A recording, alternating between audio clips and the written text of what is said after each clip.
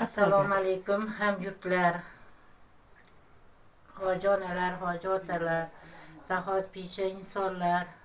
Mana meni farzandim toshtemir bekzodbek.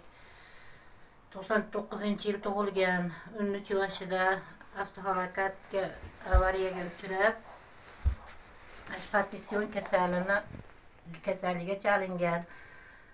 Toshkentlarda andijonlarda hamma joylarda davolatdik natijasini topmadik toshtemir bekzod o'g'lim birinchi guruh nogironi qizim ikkinchi guruh nogironi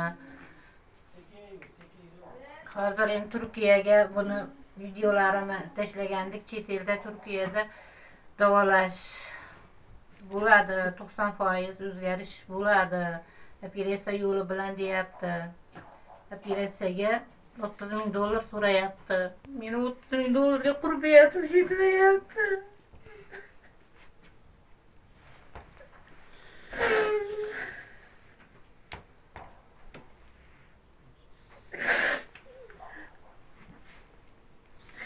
Yapamaz bir şey inşallah. Mecburum da yakın yardım edin.